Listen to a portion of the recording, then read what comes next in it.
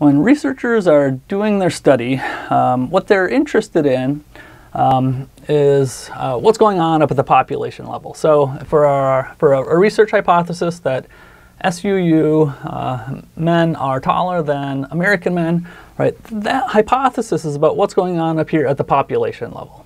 If the SUU men are taller than American men, ideally the researcher would want to know um, how much taller they are, right? And so the difference between the population of uh, men and American men up at the population level, that is the uh, effect size. Right, so the effect size is how different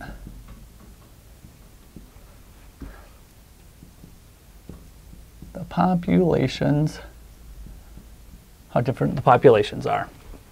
Right, and so um, if SUU men aren't exactly as tall as American men, then there is a true difference out there. Um, researchers usually don't know that true value though.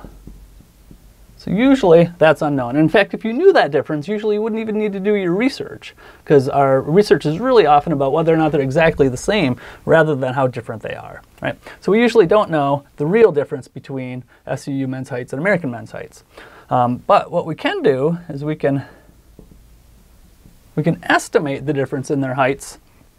Um, and we do that uh, by using our sample mean as a uh, point prediction um, of the population, the population mean.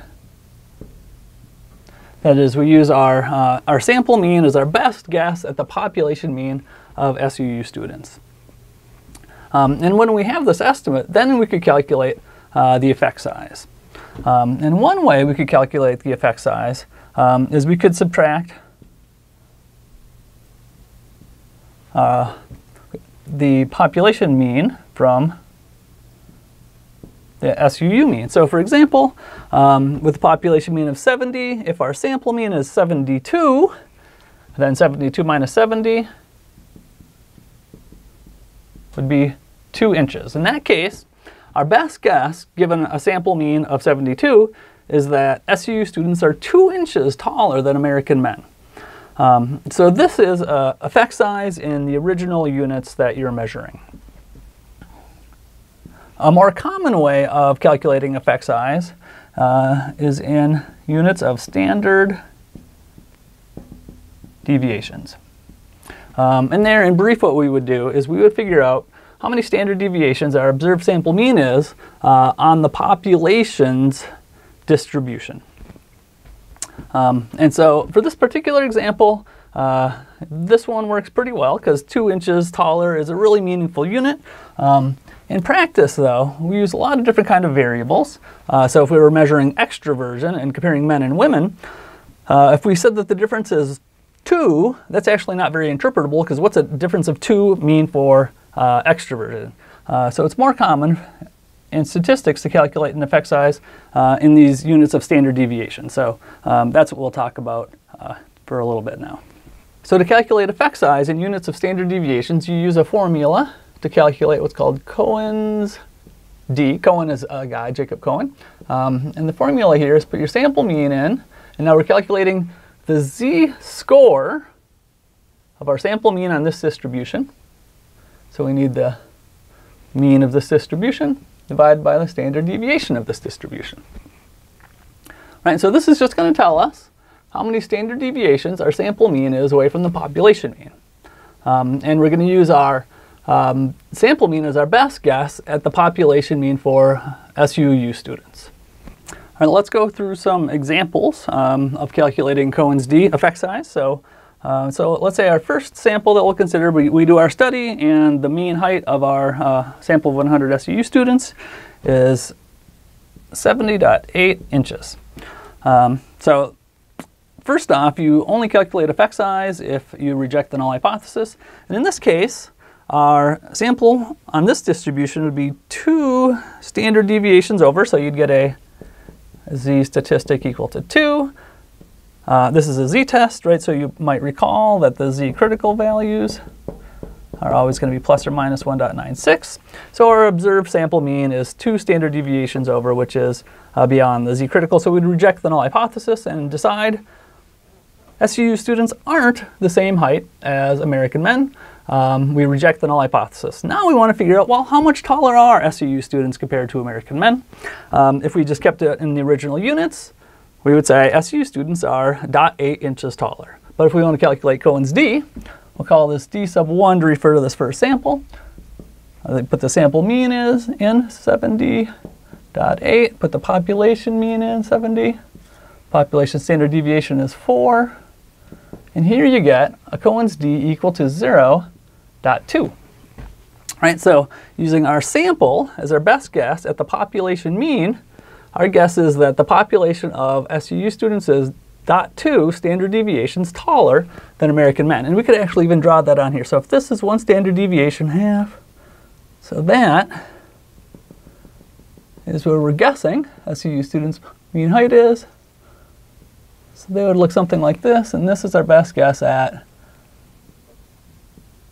the height of men um, if Cohen's d is 2. Notice with Cohen's d, uh, there's of, of, equal to dot 2, these two distributions are still largely overlapping. There's just a small little shift in how different they are from one another. All right, now let's consider a slightly different sample. So let's say we did our study, and this time we got a sample mean of 68 inches. Uh, we could calculate the z statistic in that case. It would be uh, negative 5. So that means our sample would fall 1, 2, 3, 4, 5, fall right around here. So that's a very unlikely sample if the null hypothesis is true, right? And our z statistic's more extreme than our z critical. We can reject the null hypothesis that SUU men are the same height as American men. And then now we want to decide, we want to calculate uh, the difference between SUU men and American men. So we'll calculate Cohen's d for this. We got 68 minus 70 divided by 4. So this will be negative 2 divided by 4. That's going to be negative 0.5. So in this case, our sample mean is one half of a standard deviation below the population mean. All right, so I've drawn, here's the population mean, here's one, one standard deviation below the mean. So if this is what our data looks like, in that case, our guess at SUU men's heights is that they're right around, right around there. Right? And now if you can still compare it with the black, um, right, it's shifted over further compared to the blue, uh, but there's still a ton of overlap between the green and the black uh, population distribution. So uh, in that case, there'd be a lot of American men that are taller than SUU students. Um, well, uh, or shorter than SU students, because in this case, SU students are shorter on average. Now let's consider a third, third and final example here. The sample mean is going to be 73.2. Uh, if we calculated our z statistic, it's going to be 8.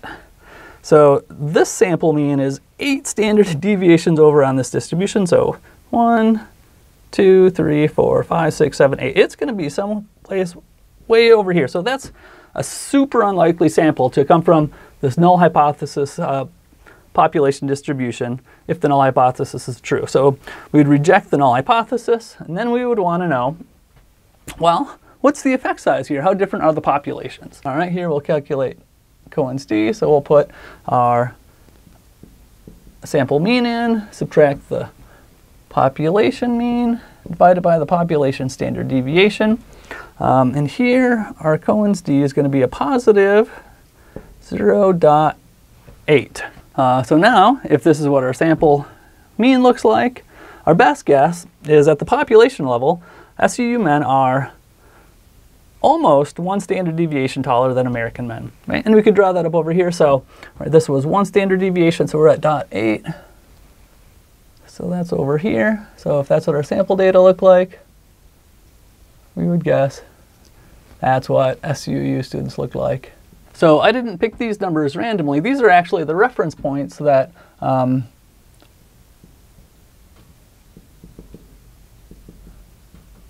that Cohen uh, has for guidelines for interpreting these effect sizes. Um, so usually when you're doing research, um, you don't actually compare, for example, uh, the raw units and say, oh, SUU students are four inches taller than American men. Usually use these Cohen's uh, D statistics. And when you use a Cohen's D, it's harder to figure out like if you found a big difference or a small difference. And so if you can't tell otherwise, Cohen suggested that if you have an effect size of a Cohen's D of plus or minus 2, or something near that, well, that's probably a small effect size. A Cohen's D of plus, plus or minus 0.5, well, that's in the neighborhood of a, of a medium effect size. And a Cohen's D of 0.8, well, that would be a large effect size. Uh, and sometimes uh, the small is called a weak effect, medium, moderate effect, and a large, a strong effect. So those are interchangeable uh, terms that you could use. And notice, even with a large effect size, that's where this red distribution and this black distribution overlap. There's still a lot of overlap between the two, even with a large effect size. So in psychology, even when we find a really big effect, uh, for example, comparing men and women, uh, there's usually a lot of overlap amongst the two different types of people, um, even when we have something that we consider to be a large or a strong effect. Uh, and so if you end up doing your research, you get a, a, a Cohen's d effect size of, say, a, a 2, you've actually found an extremely large effect um, for psychology.